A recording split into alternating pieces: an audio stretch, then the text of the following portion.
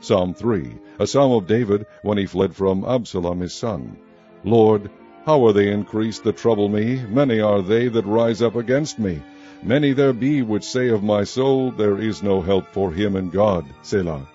But thou, O Lord, art a shield for me, my glory, and the lifter up of mine head. I cried unto the Lord with my voice, and he heard me out of his holy hill. Selah.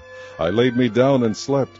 I awaked, for the Lord sustained me. I will not be afraid of ten thousands of people that have set themselves against me round about. Arise, O Lord, save me, O my God, for thou hast smitten all mine enemies upon the cheekbone. Thou hast broken the teeth of the ungodly. Salvation belongeth unto the Lord. Thy blessing is upon thy people. Selah.